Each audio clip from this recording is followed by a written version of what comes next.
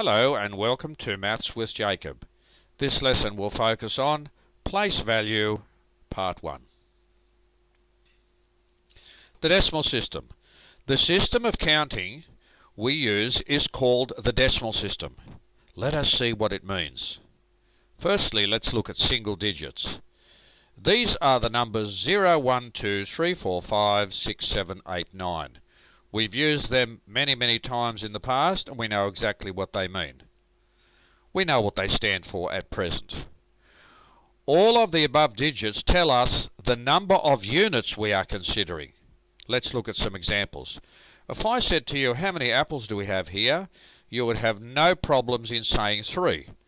One, two, three. So three equals three times one. So what does that 1 mean? Well, each of these apples is one unit. Okay? And there are three of them. So it's 3 times 1, and that's how we get 3. The little kittens, there are five of them. Each little kitten is a unit, so 5 times 1 gives us 5. The marbles, there are seven of them. Each of the marbles is a single unit. 7 times 1 gives us 7 we move on to double digits. These numbers are made up of any combination of two single digits. So naturally, numbers like this are larger than these ones.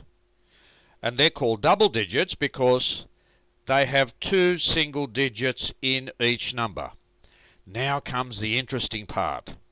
And you might say, what does he mean by that? Well, we're going to look at double digits and try and increase our understanding of what they actually mean. Double digits explained. We all understand what it means to have 15 pens, for example. But what does 15 actually mean with respect to our decimal system? Now here are 15 pens, and that's very easy to understand. You can just count them, and you'll see that there are 15 of them. Now I've done a little trick here. I've divided the number of pens up into a group of 10. See there, 10. And another group of 5. Now what did I do that for? Let us explore this a little further to get a very good understanding. Now here, remember, we have 15 pens. All two-digit numbers have a units column and a tens column. So when we write the number 15, 1, 5. We, we normally write it this way, don't we? That's what we normally write it. But this is what it means. The 5 on the right-hand side represents units, or ones. The next digit next to the 5, which is the 1 in this case, that tells you how many tens there are.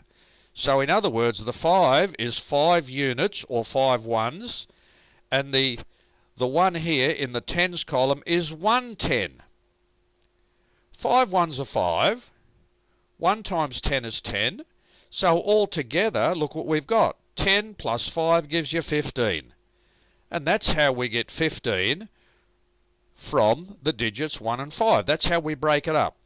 That is the meaning of the 1 and the 5. And it's very important to understand that. What is the meaning of 23? Okay, this 3 is in the units column, so it means three ones, and it has a value of 3. This 2 in 23 is in the tens column.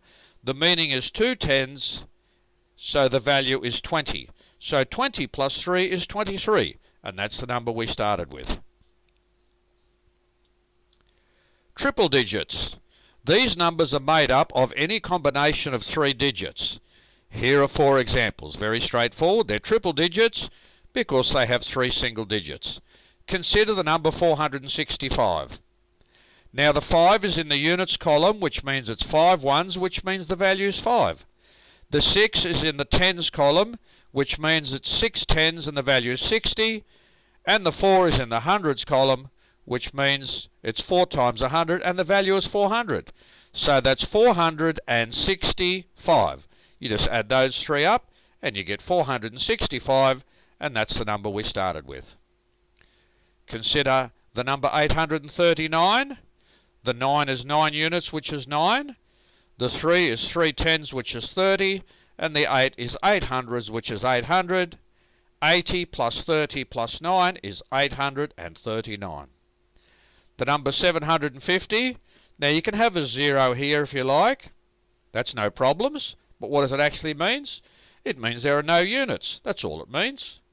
The 5 is in the tens column, so it's 5 tens, which is 50.